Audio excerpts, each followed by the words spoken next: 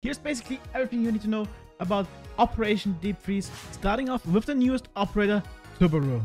And Tubarão is a 2 armor, 2 speed operator with its main weapon being the MPX that also Valkyrie got and the AR-15 of Maverick and the P226MK as the secondary pistol.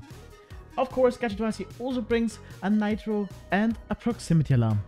He's got a throwable gadget and once you throw his gadget against a roof, a wall or the floor, it's gonna release a freezing compound that's going to freeze almost every gadget in the game. Of course this is not everything, if you throw it against the roof and then an attacker walks over the frozen area, he's gonna leave footsteps that you can see through the floor. Of course this is only for a short period of time, but in combination with a C4, you can get really creative here. The next thing is balancing. They've removed the ability to cook nades. Once you deploy them, they have a 4 second timer and once you bounce them off a nade, they only have a 2 second timer.